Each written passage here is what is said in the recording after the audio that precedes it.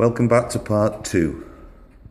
Now the clock itself has just struck 10 o'clock and it is now going on 10 to 11. What we advise is if it comes to stopping the clock and you have to leave to go on holiday, say, instead of letting the clock wind down, which we never advise, just stop the pendulum. And when you come back, if it is 10 to 11 again when you come back, just start the pendulum off again. And then you can alter the date as you were shown in video one. If you come back and it's one o'clock in the afternoon, but the clock is showing 10, what we advise is always leave the clock strike off every single hour as you're winding it round. To say if it's 11 o'clock, you'll let it stop at 11 o'clock before moving the fingers forward. And then after it's struck off the 11, move it round to the 12, let it strike off the 12 o'clock completely, and then so on and so forth until it actually gets to the time that you need it to be.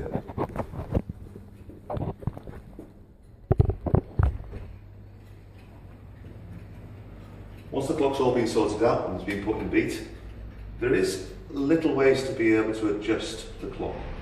If the clock is out of beat, what you'll find is it'll sound like a man with a wooden leg walking over a cobbled stone. What you need to have is the balanced tick-tock of the clock. Now the actual arm at the back, which is that little L shape, which is called the crutch, if you needed to alter it to put it into beat, there is a way of being able to move that left and right. But because the clock is actually set up on the square, if it's out of beat, it will be out of beat by very, very little, very, very small margins. That's where these wedges come into handy.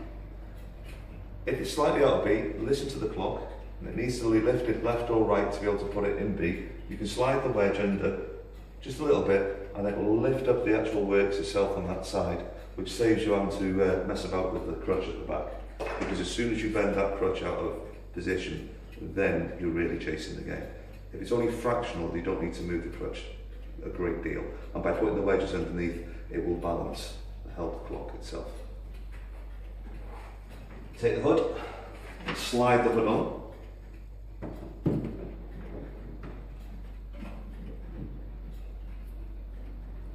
And then close the door.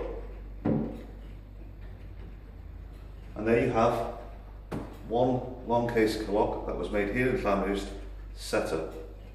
Sometimes if your floor is uneven or if you have a carpet, we would advise that you fix the clock to the wall. Now at the back of most clocks you usually find that there are holes in the back where previously they've been fixed to walls as it is.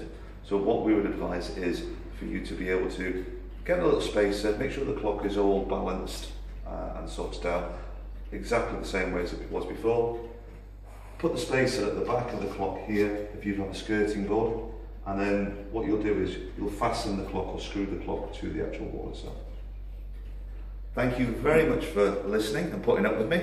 And if you have any further questions, you can visit us on our website, which is www.snowdoniaantiques.co.uk or you can email us at snowdoniaantiques at gmail.com, which should appear round about here. Thank you very much.